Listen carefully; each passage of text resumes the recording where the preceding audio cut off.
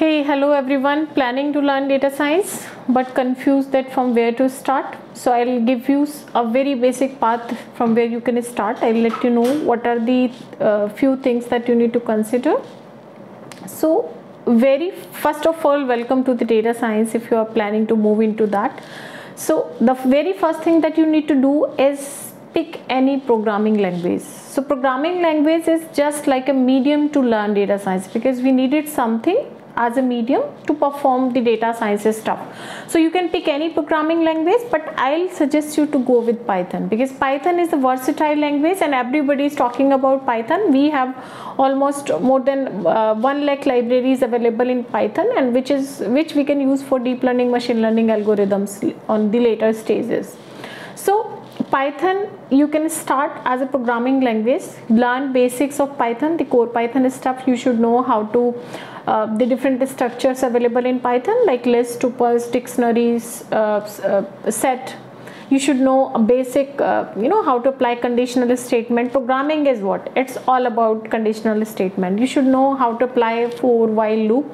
So although in data science it's not kind of like typical uh, uh, programming is needed like we does for web development but it's good to have always because you will be having a different mindset of customizing anything if you know how to do that with uh, using core python.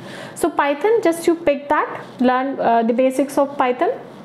Then the next thing is you need to learn data analysis.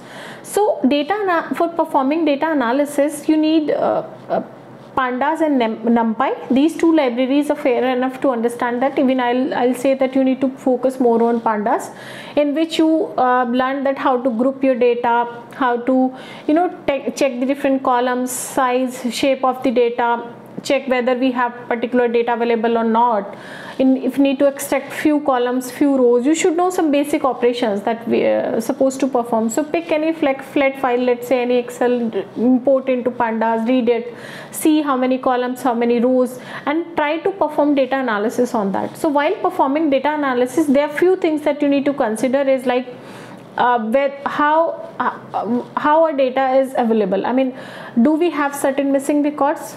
If missing then we need to treat those uh, maybe if less uh, percentage is there for missing data you can remove it. If there are more missing data you just need to treat that how to do it. So next is duplicacy. That also you need to consider.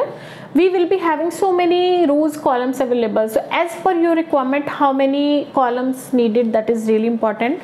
You need to extract those see the statistic summary of your data. So statistics also important into that into data analysis only. I'm saying that statistics is the one thing that is really important so that you understand how to talk about your data in terms of stats in terms of facts and figures. So rather than saying anything this is the number you say that this is the average this is the uh, the lower quartile this is the upper quartile and uh, our data is lies into one standard deviation. It's two standard deviation away from the mean. So you should know how to talk about you understand what is skewness you understand what is the outliers and all.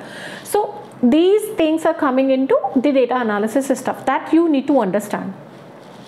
Once you know how to do the data analysis and you are able to do it so you will be able to you know obtain certain uh, conclusion out of it. So you need to show them and rather than telling everything in terms of numbers you should know how to create visuals out of it. So you how to know how uh, you should know how to create reports visuals. So for creating visuals you may start from python uh, libraries as well which is uh, matplotlib and seaborn but you you can get your hand dirty with uh, tableau power bi these are some other reporting tools available in the market. Next is once you are fair enough you have a kind of not uh, very expert into that but initially you should be able to create certain reports certain visuals out of it. Slowly and gradually with practice you will be more uh, uh, you know uh, good into creating visuals and all. Next is machine learning. So machine learning once you create visuals so you know what is there in your data. So then after analyzing your data you can create certain assumptions. And those assumptions that you may need to prove in machine learning. So machine learning we say that we need to create uh, predictive models. We need to create the uh, forecast something about the future. So so that will be coming from the pattern that we understand from the past data. So in the machine learning if your data is properly clean that you did during analysis.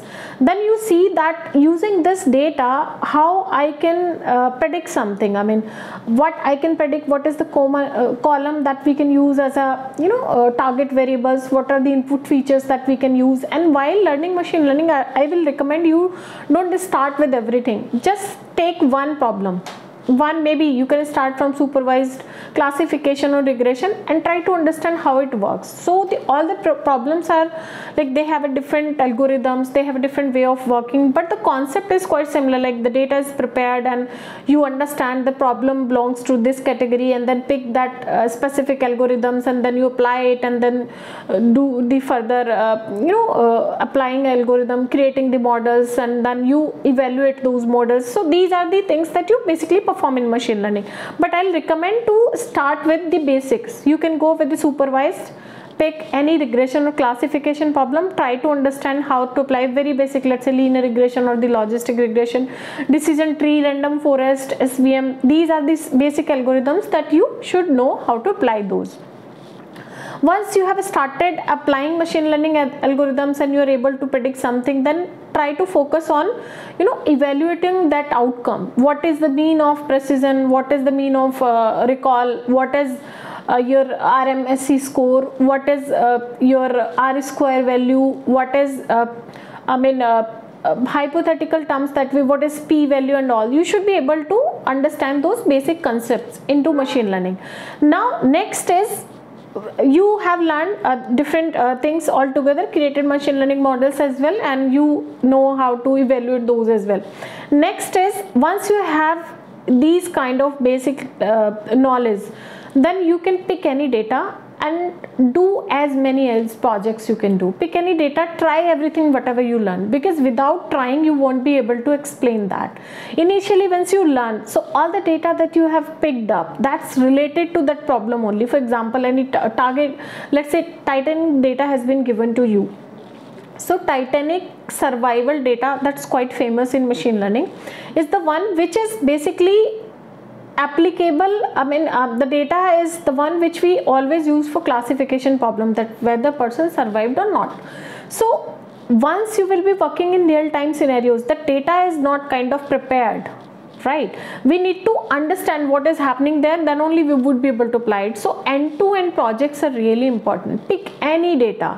Data you can pick from the internet. In internet we have very good resources available nowadays you can learn anything from internet. And number of resources are available. So start from that and go like this. So let me uh, uh, revise those whatever we discussed. First is to start your data science journey. Pick any programming language. So start with python. Then data analysis. For data analysis you needed pandas or numpy a kind of bit sqls as well. But you may start with pandas from flat file as well then the data visualization is also needed for so that you would be able to create certain reports and all. So you may initially start with matplotlib seaborn then go with tableau power bi and all. Then uh, machine learning. Machine learning you can start with supervised initially then later go on, on unsupervised and get your hand dirty with the deep learning problems and all.